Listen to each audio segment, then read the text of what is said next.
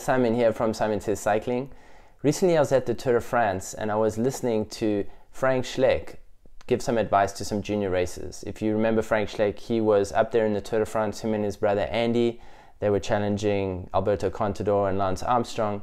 And he was sharing with some of the juniors some advice. And one of the things he said was, when you're on a climb, don't hold back. Don't play safe and pace yourself, but rather go as hard as you can until you literally blow up, until your body is so filled with lactate that you can barely turn over the pedals, until your lungs are burning so hard that you taste blood. Push yourself until that point and test your limits and see how far you can go because it's only by testing your limits can you, number one, find out your potential, but also, number two, break through to higher levels of performance because as you push yourself to that level, your body becomes more um, efficient and, and, can handle those higher intensities. So, my tip for today, as Frank Schleck said, is don't hold back, test your limits, see how far you can go, and only by doing that will you discover your true potential.